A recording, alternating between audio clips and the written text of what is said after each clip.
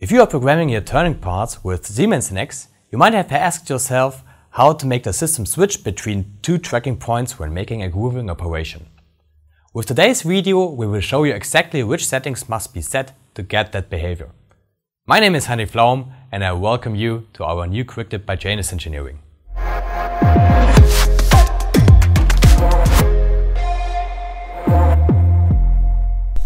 That said, we can take a closer look at today's scenario. As you can see, the part is already clamped in our vise. I will hide it for now.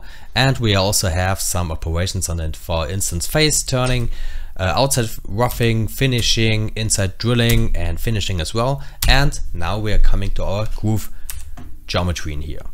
What settings have I set already in my operation?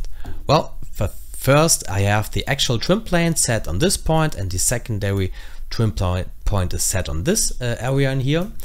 And additionally, I also has, have uh, added the information that I want to have an additional profiling on this operation. That means that an additional path will be added. Let's call it a finishing path. But how much is this uh, finishing path supposed to be? That can be set in the stock tolerance and clearance area in here.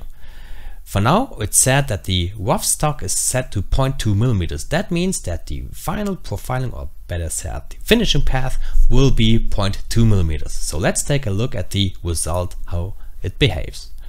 We will see that the grooving tool is roughing out all the inner area in here, but when it comes to finishing, it will go on the right side with the very first tracking point of my tool, not the second one. And now it starts to finish the right side of the wall until the mid area in here. It retrieves and without switching the tracking point, it's going to the left side and is finishing this side as well. So how can I change this behavior as my tool has two tracking points defined onto it? That we can be um, checked in here. When I'm going to the tool, go to the tracking tab up here. And now I see that the first tracking point is in this area and the second tracking point is in that area on this um, radius set in here. So how does my system change from one tracking point to another? For that we can go to tool settings, axis and CAD/CAM.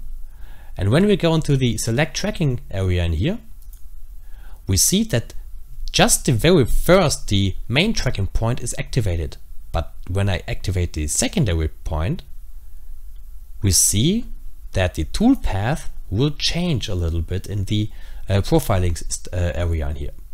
How did it change? Well, for now we can see that the roughing is still the same, but once we are getting to the finishing uh, part of the operation, we see that the tracking point will be activated uh, up here.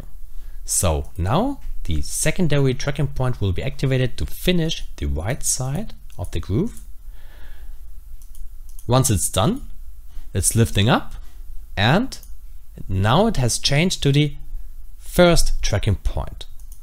And now it's finishing with the first tracking point, the left side of the groove. The behavior within the uh, groove itself and how it is supposed to be profiled can be changed in profiling. For now it is set to a percentage of a groove length of 50%. So that means right in the middle of the length of the groove, the tracking points will be changed with an overlap distance of 2 millimeters. When I change it to let's say 75%, we see that the tool is lifting up after 75% of the um, groove length. And the same can be seen when I change the overlap distance instead of 2 millimeters, I will call it 4 millimeters. We see that the overlap distance now got even longer. As let's return to 50% maybe. So how is the behavior now? Once more, it's roughing out all the inner area, lifting up, changing to the tracking point, finishing this side until 50%, lifting up once more, re-switching the tracking point, going to the left area, profiling down and now a way longer overlapping distance in this part. And now we have the answer once and for all. If our video helped you, we would appreciate a like and a subscription. Do you have any questions or some hints for us for our future quick tips? So leave them down in the comments below. And for another interesting video for Siemens NX CAM, you can click on this card here. In this video, we will show you how to reach challenging regions on your turning parts. Have a good one. Bye. Let's make it real. Janus Engineering.